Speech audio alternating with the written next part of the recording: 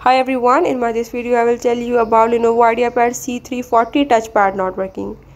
So in this video I will perform all the steps by using the keyboard because touchpad is not working. If you have mouse, you can connect it with your laptop and follow all the steps. Otherwise you can also fix only with the keyboard. So first, just open the start menu, search for device manager and press enter.